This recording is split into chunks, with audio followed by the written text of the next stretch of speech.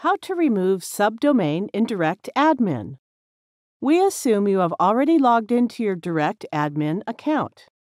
Click Subdomain Management. This is the interface where you can create and manage subdomains.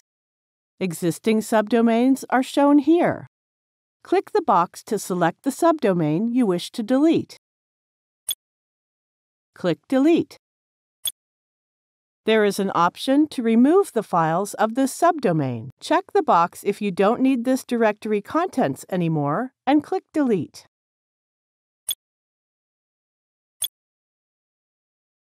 That's it. We have removed the selected subdomain. Notice that it has been disappeared from the list of subdomains. Thank you for watching.